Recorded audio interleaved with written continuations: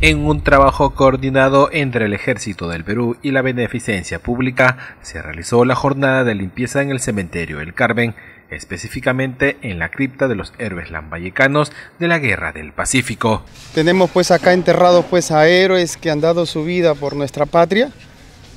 y se les está haciendo un mantenimiento pues a, a, todos sus nichos que en su oportunidad vamos a programar hacer una pequeña ceremonia de reconocimiento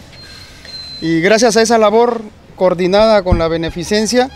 Estamos aprovechando en hacer un mantenimiento general a todo el cementerio, como ustedes lo han podido apreciar. 50 soldados de la séptima Brigada de Infantería estarán durante tres semanas en este campo santo para realizar el mantenimiento general de todo el cementerio. La beneficencia ha proporcionado los materiales y el ejército el personal para cumplir con esta labor social. Tenemos la